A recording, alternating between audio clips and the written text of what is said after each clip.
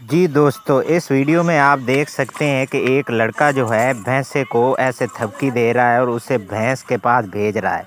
और इस लड़के का आगे जो है बाप है, वो जो है उस भैंसे की तरफ़ देख रहा है और भैंसा जो है वो सुखरानी की तरफ़ देख रहा है और ये चारों जो भैंसें खा रही हैं।